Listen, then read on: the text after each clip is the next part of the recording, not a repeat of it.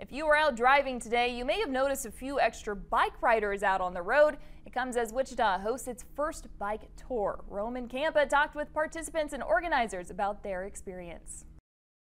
A group of 20.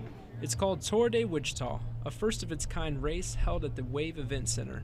But it wasn't just a chance to enjoy the weather. It's a fundraiser for the nonprofit organizations Bike Walk Wichita and Great Plains Diabetes. Organizers say it was a joint effort with the city to make it happen. Because without the city's involvement, we, we couldn't have pulled these routes off. Mm-hmm. There's no way. To help prepare the route, the city went and they repainted the bike lanes and the stripes. They filled in some potholes for us along the route, and they just made sure that the streets are swept off and ready to roll. Well, just across the street from me is the starting point for more than 500 bikers and walkers.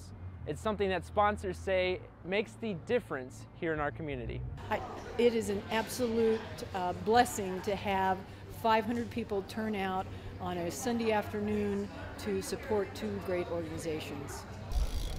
But as for the bike ride itself, one challenge might have been the Kansas wind. Yeah, it was a little windy, but on the way back, we had the wind to our backs, and it was just wonderful.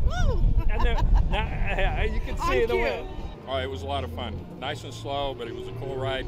We were all were a little bit worried about the wind, but it, we had enough wind breaks on the ride that it made it really a lot of fun. But what's most important is the community coming together to support the city of Wichita. It's it's something that I think it solidifies the community here in Wichita, and it's it's great for Wichita's local community and people from all around too, all around the local area as well. It's uh, yeah, it really makes me have a lot of pride right now in Wichita.